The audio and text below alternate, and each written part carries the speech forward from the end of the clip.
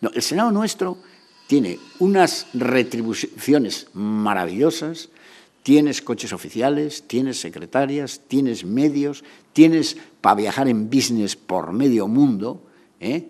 nos cuesta 60 millones de euros ¿eh? y no hacen nada.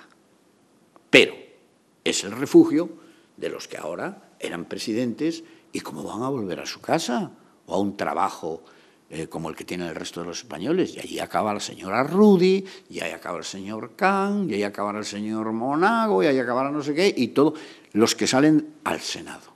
Porque da un prestigio. Y cuando salen por ahí afuera, como en Europa no saben si hacen algo o no, dirán, oye, vamos a recibir que es un senador español.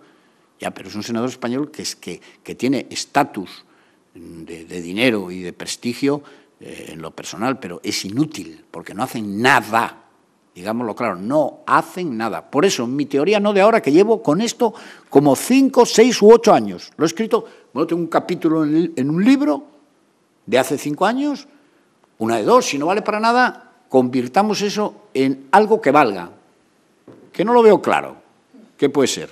Pero de momento cerrarlo, cerrarlo, ahorrarnos ese dinero y sobre todo lo que supone de agravio que sepamos que hay unos señores que no hacen nada y que se llevan un dinero crudo las diputaciones, todas cerradas, si su las de ley por ley, todas, esas cuestan más de 3.000 millones de euros. Ahí sí, ahí hay un bocado.